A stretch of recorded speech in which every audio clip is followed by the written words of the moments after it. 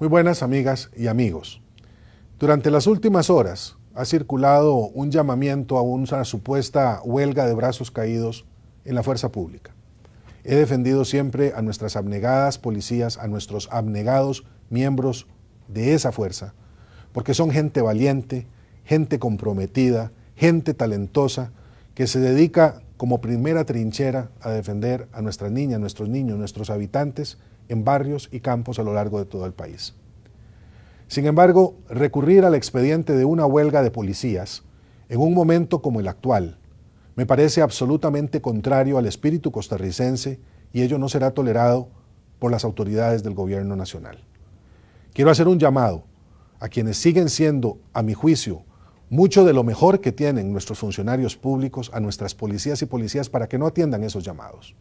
Las discrepancias que se puedan tener respecto de los nuevos roles se pueden discutir administrativamente ahora que la Sala Constitucional rechazó de plano el recurso interpuesto por un representante sindical el día de ayer. Lo que no se puede hacer es dejar desprotegida a la familia costarricense. Lo que no se debe hacer es convertir a los policías en funcionarios públicos como cualesquiera otros. Nuestra fuerza pública es esencial para el mantenimiento de nuestra paz.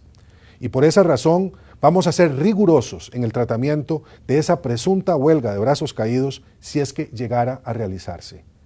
Y no amenazo, simplemente digo lo que la gente de la calle, las personas como todas y todos nosotros reclama que es a una fuerza policial al servicio de la ciudadanía, como lo está en la inmensa mayoría de los corazones de las policías y de los policías de este país.